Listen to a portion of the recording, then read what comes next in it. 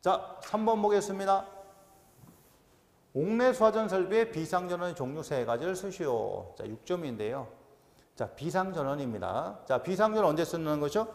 사용전원이 이제 문제가 생겼을 때 쓰는 거예요. 사용전원의 정전 또는 단선을 위해서 쓸 수 없을 때 그때를 대비해 가지고 놓는 것이 비상전원이다 이거예요. 자, 종류는 뭐가 있습니까? 자가 발전 설비요. 우리는 보통 비상 발전기라 하는 거. 자, 그 다음에 축전지 설비. 자, 그리고 전기 저장 장치가 있습니다. 자, 축전지 설비는 내연기관에 따른 펌프를 사용한 경우 내연기관에 따른 펌프 사용한다. 얘를 갖다가 엔진 펌프라 그래요. 번 자, 내연기관의 기동 및 제어용 축전지를 말한다. 이렇게 돼 있어요. 그러니까 엔진 펌프를 갖다 돌리려면 배터리가 있어야 돼요. 우리 자동차 시동 걸려면 배터리가 있어야 되잖아요. 자, 그거를 비상전원 인정해 주겠다는 얘기예요. 자, 세 번째 전기 저장 장치입니다.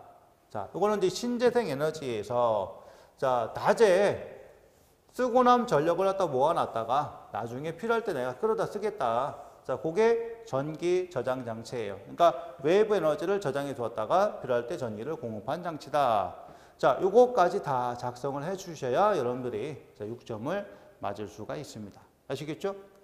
자, 그래서 이거를 잘 알고 계셔야 되는 거예요. 자, 우리 비상전 종류는 자가발전, 축전지, 전기장치, 그 다음에 또 하나 뭐 있어요? 비상전원, 수전설비랑 또 있잖아요. 자, 이 비상전원 수전설비는 이제 말 그대로 어떤 거 수전이니까 한전에 들어온 전기란 말이에요. 한전 전기.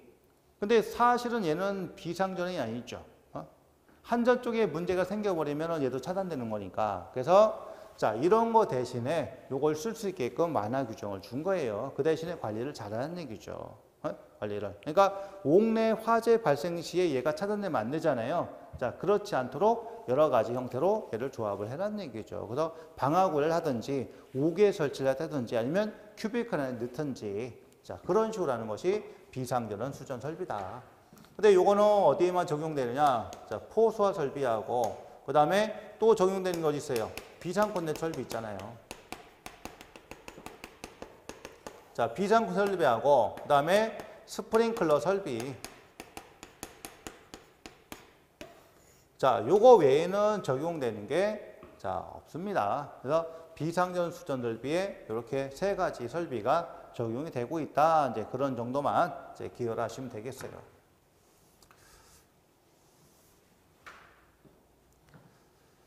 자, 그 해설 보죠. 자, 설치 기준에서 비상전 설치 대상 어떻게 되냐?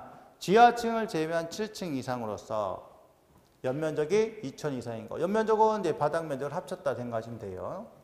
또 지하층 바닥 합계가 3천 이상인 거. 요게 해당이 되면은 옥내 수화전 설비는요 비상전원을 설치를 해줘야 됩니다. 자 제외 되는 거. 자 양변이죠. 둘 이상의 변전소에서 전력을 동시에 공급받을 수 있거나 하나의 변전소가 중단했을 때 다른 변전소로부터 공급을 받을 수 있도록 하는 경우에는 제외할 수 있다. 그 다음에 가압수도 방식이다. 자, 비상전 종류입니다. 자가발전, 축전기, 전기 저장장치 이렇게 몇 가지가 세 가지가 있다는 거죠. 그런 부분이니까 요거 잘 알아두셔야 됩니다. 자, 설치 기준. 설치 기준도 많이 나왔잖아요. 그러니까 기본적으로 자, 점검에 편리하고 재해받을 우려가 없는 장소. 자, 점검 그 다음에 어떤 장소냐. 두 번째 20분이다. 세 번째 사용전원 공급이 중단할 때 자동으로 비상전원을 해서 공급이 돼야 된다.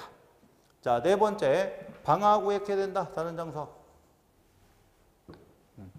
자, 이 경우에 공급에 필요한 기구나 설비 있고 두면 안 된다.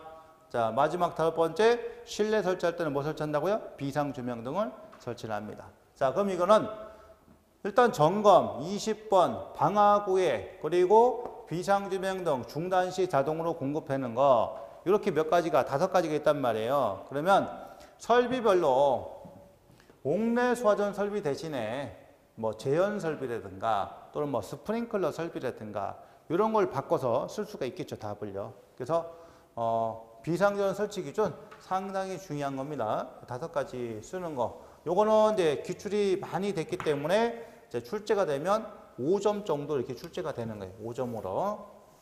그래서 어, 이런 사항들 묶어서 자주 나온 것들 있잖아요. 그런 것들 여러분들이 나름대로 이제 복습해서 공부를 하시면 되는 겁니다. 자, 4번. 무선 통신 보조 설비의 화자는 규정에 규정한 분배기 설치 기준 세 가지를 쓰시오. 자, 이것도 6점 이렇게 되는데 분배기. 자, 첫 번째, 먼지, 습기, 부식 등에 따라 기능의 이상을 가져오지 않는 거. 자, 그러면 앞에 원하고 습하고 부식이 되는 거죠. 자, 먼습부 되는 겁니다. 그 다음에 임피던스 50ohm인데 이게 자, 임피던스가 뭐야? 무반사 종단 저항도 50ohm이잖아요.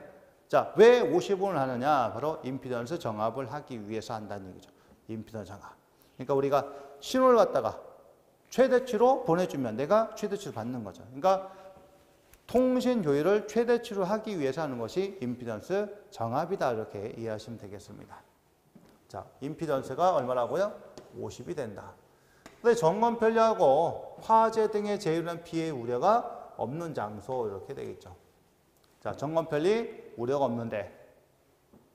자, 먼습부 이모 점검 편리 우려가 없는데. 자, 점우. 그다음 먼습부 이모십 점우. 자, 이렇게 해서 외우시면은 그것도 네, 얼마든지 가능하시겠습니다. 자, 그러면 이게 다음에 안 나올 거냐? 그렇지는 않다는 얘기죠. 그래서 어, 다시 출제될 수 있으니까 이런 것들도 잘 보셔야 됩니다.